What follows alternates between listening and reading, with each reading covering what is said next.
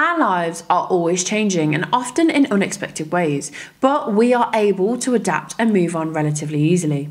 That's not always the case for our canine companions, and it's an important factor to consider, especially if your living or family situation tends to change often. Today, we're going to look at how adaptable the Bull Mastiff is and see how well they might handle your life changes.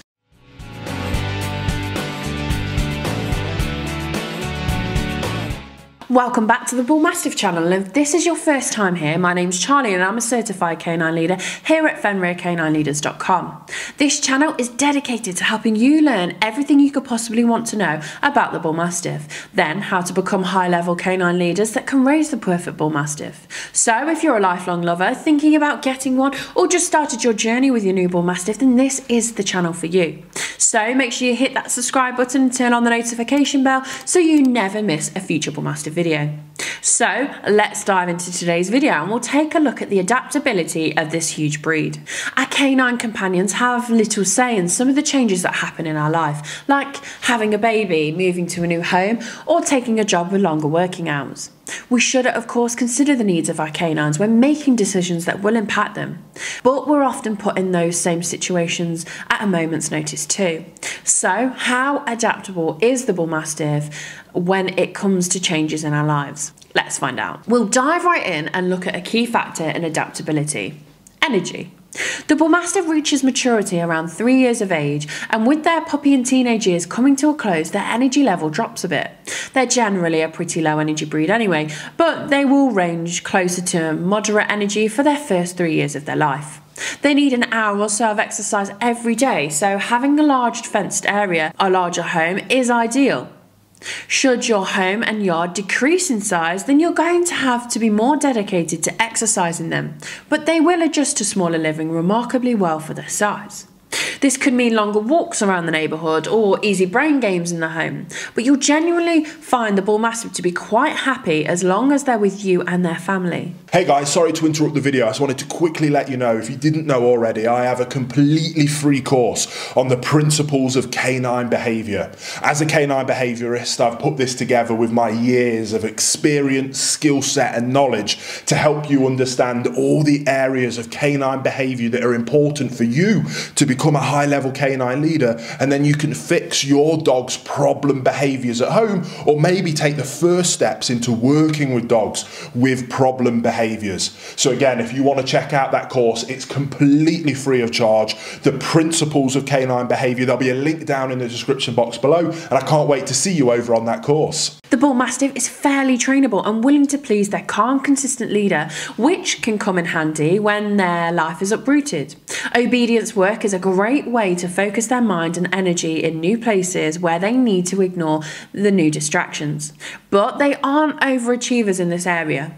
They likely find a comfy spot with a view and carefully watch their new surroundings whilst keeping an eye on their family. Remember, your Bull Mastiff ancestors were bred to be estate guardians, so they prefer situations that are familiar so they can easily spot anything amiss. Keeping their routines as familiar as possible will help to transition them into their new life, whether that be a new home, a new baby, or less time with you. The Bull Mastiff is a devoted family canine that thrives when somebody is with them, but they're genuinely quite comfortable being alone too. It is still crucial that you work on their confidence alone from an early age and build up the time that they're left alone rather than just jumping in. Bull Mastiffs are capable of destroying their kennel, chewing any number of things and other destructive behaviours when they aren't trained to accept being alone.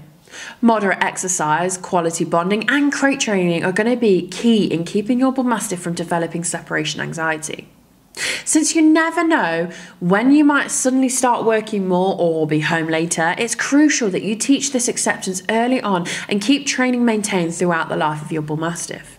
It will make many life changes easier for both your canine and for you to adapt to at a moment's notice. Bull Mastiffs are incredibly devoted and affectionate with their family. So, changes in their life that result in less time with you or the rest of the family are going to be the hardest for them to adjust to. If you've taken a job with longer hours and don't have a family member that can be there, you'll need to work harder when exercising and bonding with them in the morning and evening. If you or someone your Bull Mastiff trust can be there for an hour or two in the middle of the day to give them some attention, then they'll adapt so much more easily.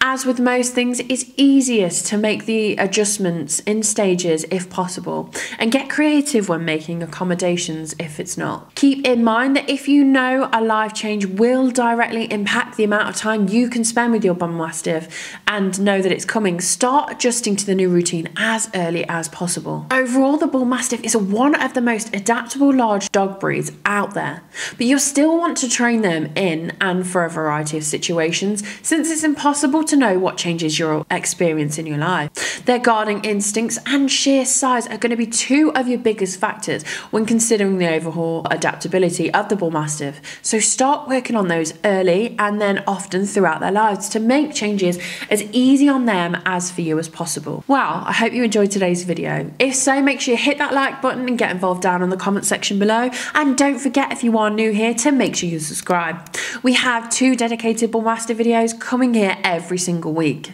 So I can't wait to talk to you again on the next episode of the Fenrir Bull Mastiff Show.